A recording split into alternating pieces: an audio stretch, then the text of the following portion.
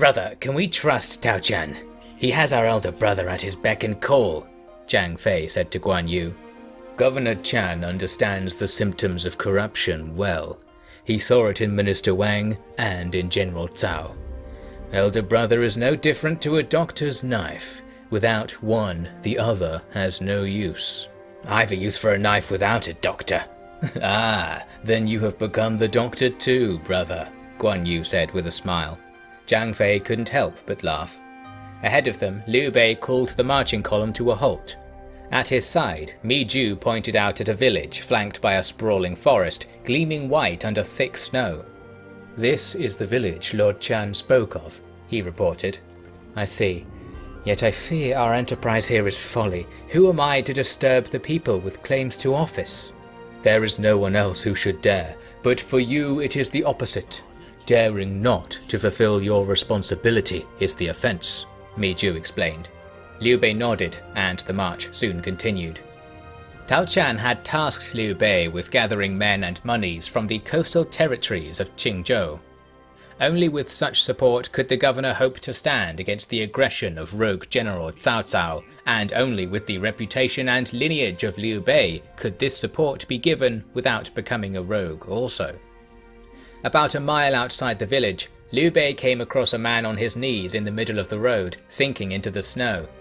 To his flank were a set of tents, weapons on display on the racks outside. General Liu, long have I heard of your noble name and dreamed of meeting you. Finally, heaven blesses me with this opportunity, the man said, his voice shaken by the cold. Liu Bei greeted him and followed him inside one of the tents, Guan Yu and Zhang Fei following closely with weapons in hand. They drank some warm wine and soon got to business. Governor Tao Qian advised me that you have committed a heinous crime against the Empire, Liu Bei said. The man, the local county prefect, went even whiter in the face than he had been before.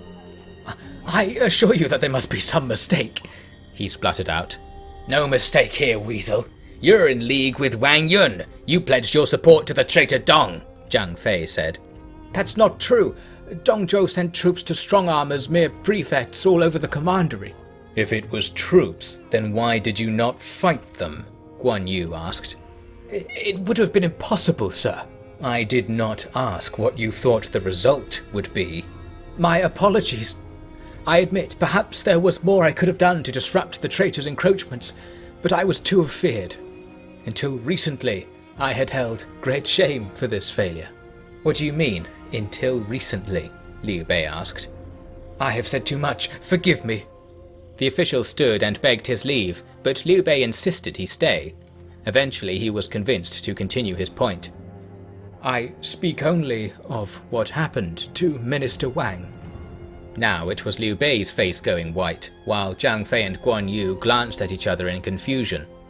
It is true that as a man of no military note, I could only act against the traitor by first helping him to win my chance. But how could I know if that was heaven's will? The fate of Wang Yun shows that I was correct to await a hero with heaven's favour instead. Zhang Fei and Guan Yu had some questions about what was being implied, but Liu Bei bid them remain silent and quickly concluded the meeting. It was agreed that this prefect would direct his revenues according to Tao Qian's plan from now on. The army continued up the coast. Word had gotten out that Liu Bei was demanding submission of the local officials, and as a result, they were all rushing to meet him on the road with horses, provisions, and troops. Further from Langye, there was no more talk of Wang Yun's alleged conspiracy. These officials were merely doing what they had learned was best when Dong Zhuo took power. If a warlord comes with an army, you bruise your forehead on the road before him and say whatever need be said.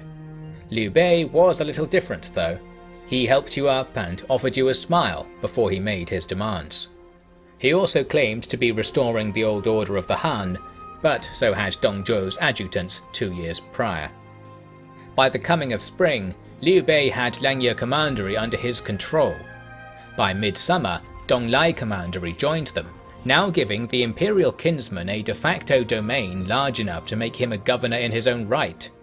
The people were cautious, feeling like they were being led away from the embrace of the emperor, but Liu Bei ensured that all was set to order in Langya and Donglai. Within weeks, the corrupt officials that plagued the empire were replaced with men hand-picked by Liu Bei himself. Calls to reduce their powers were deemed tyrannical in their own way. Such were decisions for the emperor to make, not a mere general, nor even a second marquis. This latter rank was bestowed upon Liu Bei by none other than Dong Zhuo himself.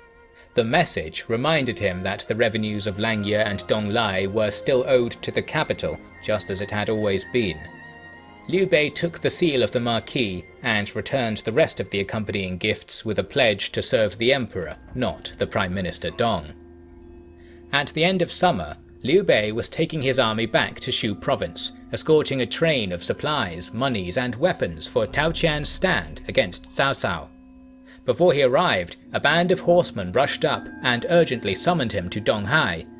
Tao Qian had fallen ill, and it was said he had not long left. Liu Bei and his brothers rode day and night to reach the city, but arrived to find the flags of mourning arrayed on the gatehouse.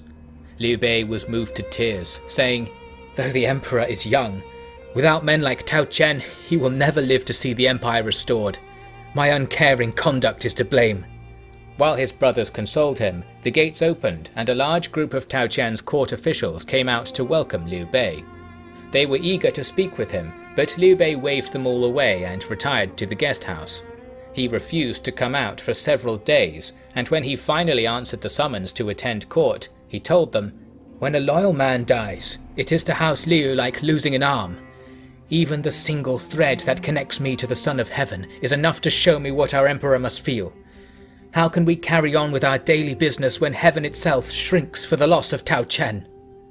At this, some of the officials began to tear up also. Many of them were speaking with hands over their mouths to each other, pulling on each other's robes and quietly begging each other of something. It was just as Liu Bei had secretly hoped during his last couple of nights in the guest house. Guan Yu nodded to him, seeing the proceedings also. In the light of Liu Bei's imperial performance, some conclusion was arrived at among the officials, and then Mi Zhu, who was overseeing the court as regent, brought out a bolt of white silk bearing a carefully painted message. Marquis Liu, this is the will of Lord Tao Qian, he said. He had desperately wanted to see you before he passed, but was contented to give you this charge should he not have the fortune. With the Empire in chaos, there is no chance for a new governor to be appointed. Given the service you have already rendered to the Empire, and given your imperial blood, Lord Tao Qian begs that you will take up this heavy responsibility and lead Xu province against the traitors Dong and Cao alike. Liu Bei, looking astounded, accepted the charge at only modest insistence. Mi Zhu offered up his seat, and without ado, Liu Bei was lifted from Marquis to Provincial Governor, a rank held only by a handful of men across the land. Before him, the officials bowed down.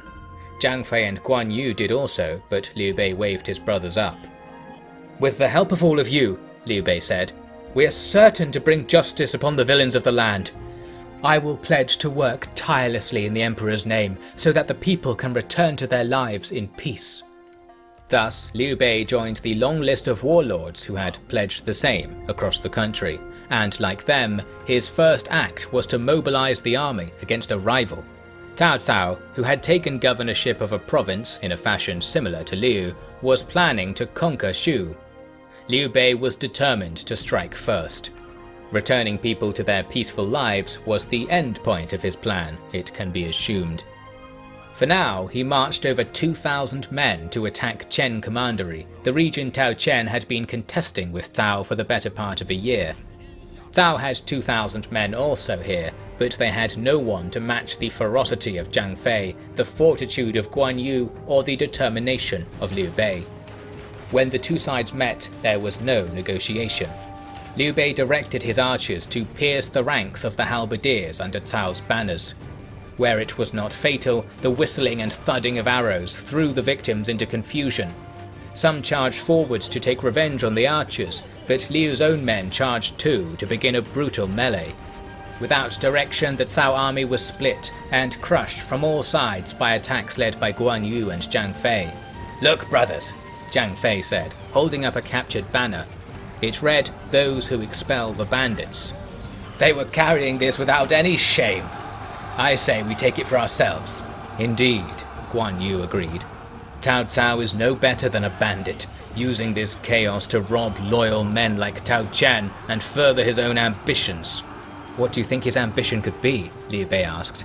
That's obvious. He wishes to follow the example of the traitor Dong, Zhang Fei answered.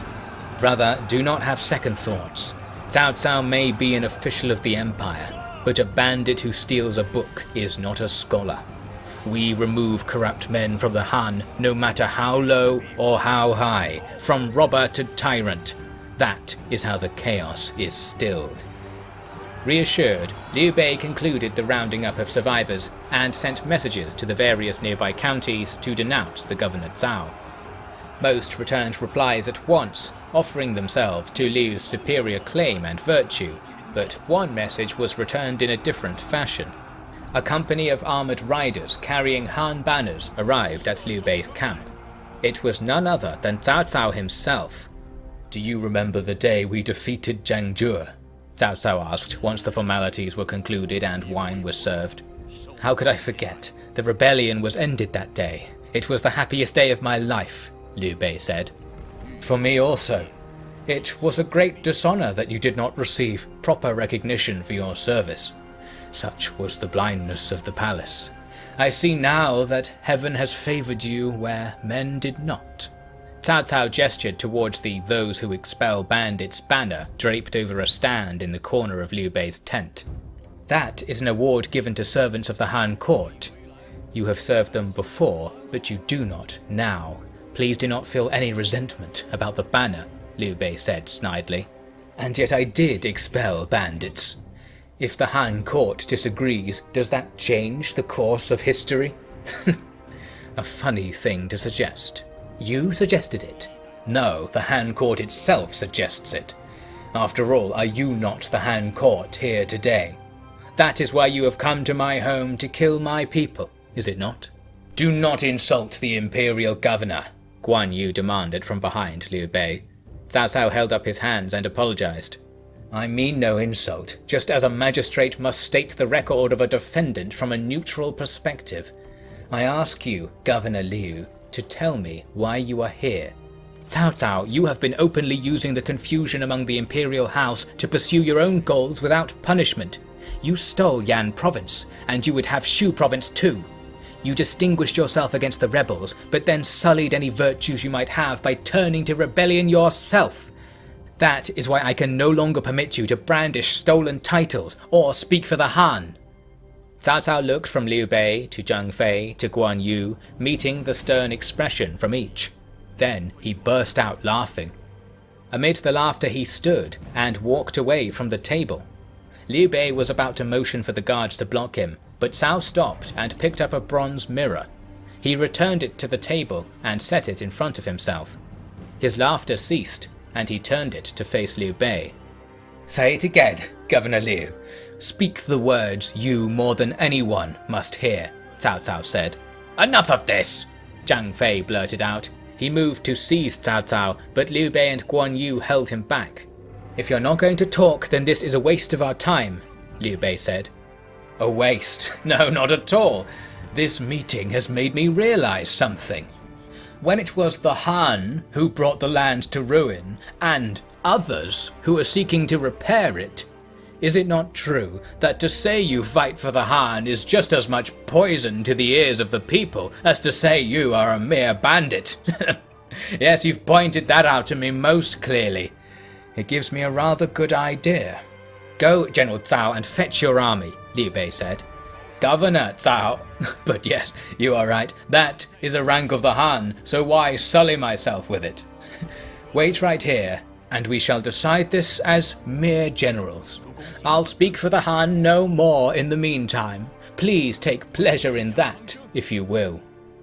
With these facetious remarks, Cao took his leave and returned south with his cavalry guards. The brothers were left fuming in their tent. The traitor Cao takes the empire for a jest. He is more dangerous than Huang Shao, I am certain of it, Guan Yu said. The corruption takes many forms, Liu Bei said. even those who seem loyal will grasp at any chances for power and lose their mind. We'll have to be careful to root out such people, lest the Han not merely fall, but the Empire cease to be and heaven crashes to earth. Don't worry, elder brother, Zhang Fei said. Once we're on the battlefield, his idiocy will be ended by honest steel, and that'll be the end of it.